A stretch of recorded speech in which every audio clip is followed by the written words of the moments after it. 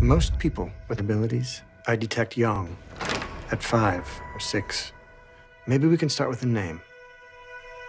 Aurora.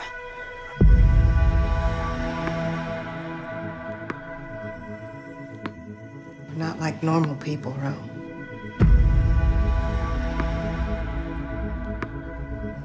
These abilities only work if you are in control. So what's his name? Whose name? We're not playing that game. You want to keep secrets? And shield them better in your mind. How about you stay out of my head and give me some privacy? Can I ask you about your abilities? I like to do projections. You say you hate what we read, and Yet you love that garbage? That's good. Can you move objects? I'm not good at it. You need a teacher, Ro. These abilities, they're complicated, they're transformative, and they can be dangerous. On your knees. Let's go. Come on. I'm not going with you.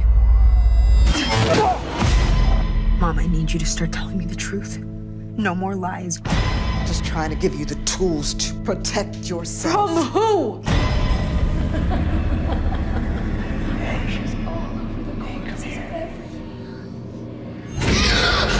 Mom, this isn't real. Why fight it? Okay, Ro. Join us. Ro. You were weak. Sorry, I'm sorry. Bro, she's freaking out. Please, please just leave me alone.